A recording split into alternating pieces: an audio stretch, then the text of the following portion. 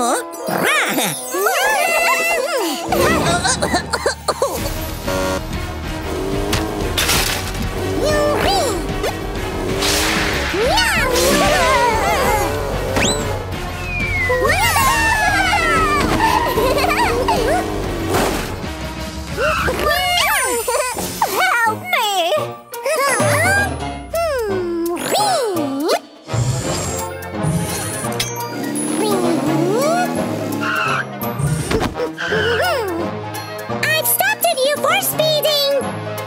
sorry. I can't see well and confuse the gas and brake pedals.